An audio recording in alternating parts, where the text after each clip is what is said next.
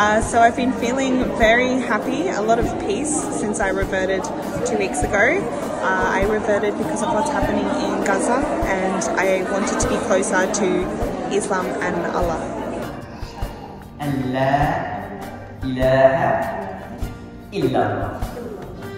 Not knowing which one. And uh, the idea of Islam and having just one God, that really resonated with me.